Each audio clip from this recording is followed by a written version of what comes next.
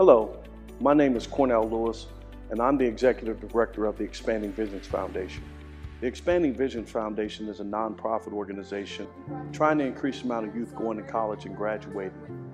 One of the things that we do is we have values that surround family, we have values that surround youth, and we have values that surround people in general. In Expanding Visions Foundation, we're broken into several categories. First category we're broken into is our Career Institute.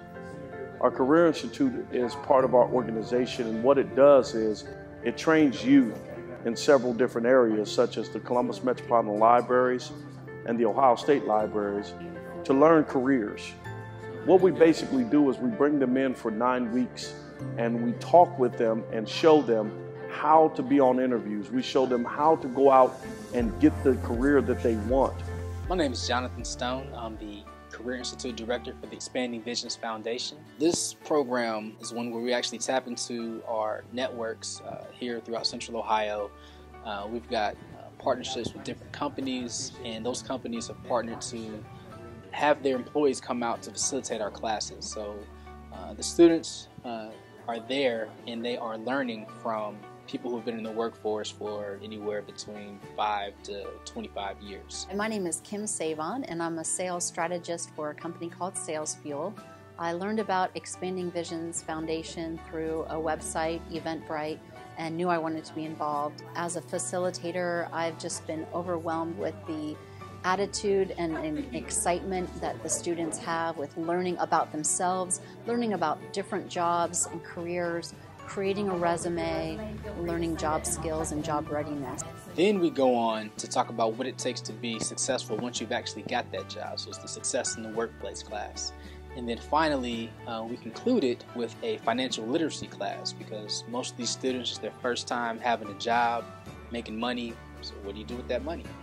And we teach them about uh, principles of saving, uh, we teach them about credit, we teach them about debt uh, so that they're prepared once they get those checks uh, to do the right thing with their money. The next part of our program is the life coaching portion. What is experienced in this program are three values connection, correction, and inflection. The connection part of it is when youth come in and they are connected with life coaches who will help them through the process of dealing with life as it is, being able to work through problems and still be able to get to class in, our Career Institute. The next part is correction. A lot of times, correction is needed. Youth will go off in a certain direction and they need to be brought back.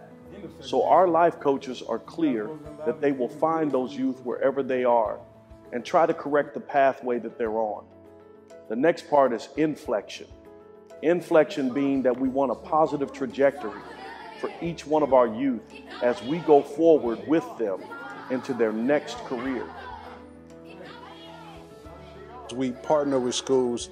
We try to make sure when we go in, we're doing all that we can to support the kids. No suspensions. Uh, we want good grades. We focus on these things because those are results.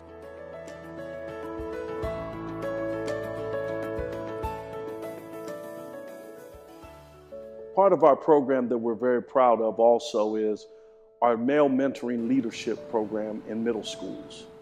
One of the things we think about in that program is that we make men. That is our motto. We started out that way 12 years ago, and we're still doing that today. So while our Career Institute handles all genders, and our life coaching also handles all genders, we have a specific thought process towards young men. Maurice Elder. I work with LifeCare Alliance, but also am a volunteer at EVF, Expanding Visions Foundation. I've been a mentor and a leadership and also a life coach for the program for now three years. And the impact of I've seen since I've been here is when we arrived three years ago, the incident rate with young male were up to about 120 per year. After year one, we reduced that incident rate to about 60. After year two, down to about 30, 35. So we know that we're making some type of impact in these young men's lives. Sydney McQuarrie. I'm a youth mentor with the Expanding Visions Foundation. I do enjoy impacting the young men.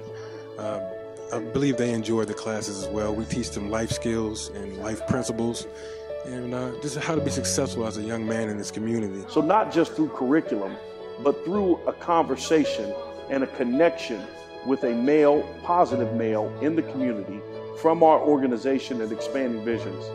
They're allowed to find out more about how to become men, what they can do to serve their communities better, what they can do to help others, and what they can do to become men, become good men. We're here to teach them, we're here to train them, we're here to equip them uh, for the short term and for the long term. Mentoring for life. People are the key to what we do. We do so many things every day for, for individuals in the community in Expanding Visions Foundation, but it always comes back to people. And so when we have people who are volunteering in our organization, or we have people who are wanting to become a part of our organization, the number one thing I tell them to do all the time when they ask me, can they volunteer, what the criteria is, I said, show up. And when they say, well, what do I do after that? I say, keep showing up. Because if you keep showing up, you will find somebody who will recognize the fact that you're there for them and that you've always been there for them. We can't possibly thank everybody who have supported us over the last 12 years at the Expanding Visions Foundation. Some of the ones we would like to thank are Columbus Foundation, Columbus Metropolitan Libraries, and The Ohio State University. We've been thankful to have partnerships with these organizations over the years. It is clear to me that Expanding Visions Foundation belongs in the community where it will always stay because it's because of those people that we are always ready to serve.